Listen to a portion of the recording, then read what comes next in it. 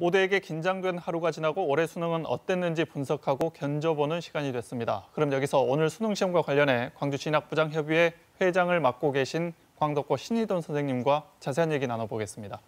어서 오십시오. 네, 안녕하세요. 관심은 올해 시험 출제 경향 그리고 난이도일 텐데 네. 오전부터 모이셔서 이걸 분석해 보셨다던데 실제 보니까 어떻습니까? 네, 일단 출제 경향은 어, 올해 실시된 6월 모의평가 그리고 9월 모의평가의 출제 기조를 그대로 유지했고요. 어, 난이도는 각 영역별로 전년도 수능과 비슷하거나 네, 다소 어려웠다라고 예측하고 있습니다. 음, 지난해 전년도와 비슷하거나 조금 어려웠다. 과목별로 좀 자세히 이야기해 볼까요? 어떻습니까? 네, 일단 국어 영역 같은 경우에는 어, 코로나19 상황과 관련하여 학습량 경감 때문에 정보의 양이 상당히 지문의 정보의 양이 상당히 줄었습니다.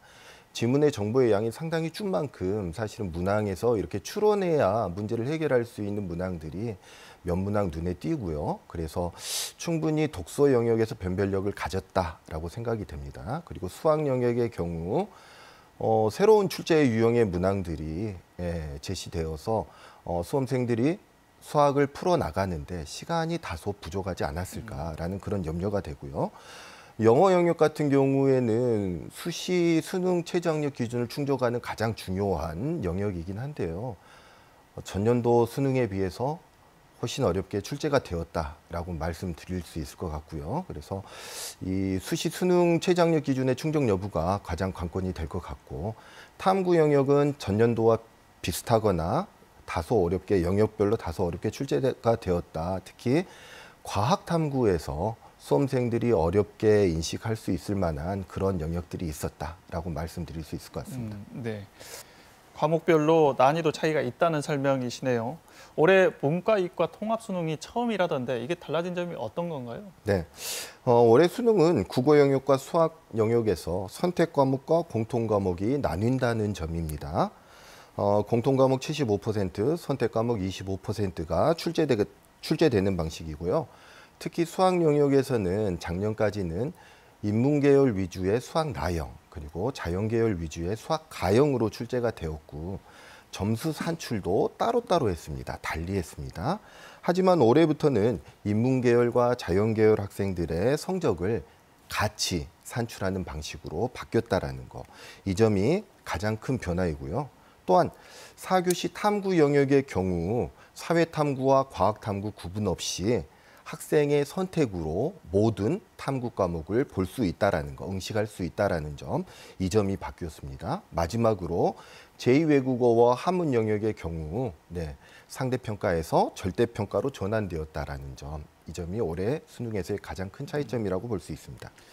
출제위원단이 밝히기를 통합 수능과 관련해서 선택 과목별 난이도 균형 맞추려고 노력했다던데 분석해 보니까 실제 어떻던가요? 네, 어, 국어 영역과 수학 영역의 변별력은 선택 과목보다는 공통 과목에 네, 훨씬 더 초점이 맞춰진 것으로 보이고요.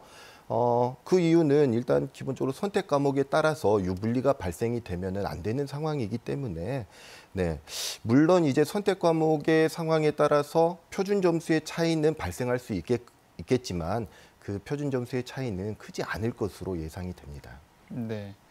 시험은 이제 끝났고 당장 이번 주말부터 수시 면접이 시작이 된다고 하던데 네. 어, 이후에 입시 준비 어떻게 해야 될까요?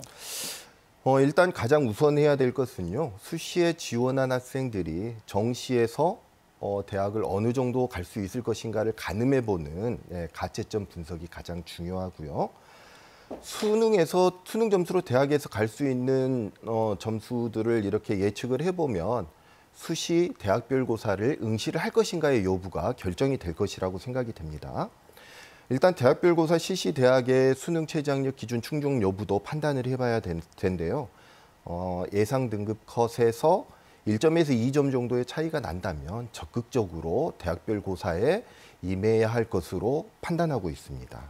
또 정시에서 지원할 학생들은 대학별로 반영하는 과목도 다르고 반영 과목별 반영 비율도 다르기 때문에 자신에게 유리한 대학들을 찾아내는 게 지금으로서는 가장 중요하고요. 이 모든 것들이 어렵다면 담임 선생님과 상담을 통해 가지고 네, 빨리 유리한 조건들을 찾아가는 작업들을 해야 될 때입니다. 네, 오늘 말씀 감사합니다. 오늘 여기까지 듣겠습니다. 고맙습니다. 네, 감사합니다.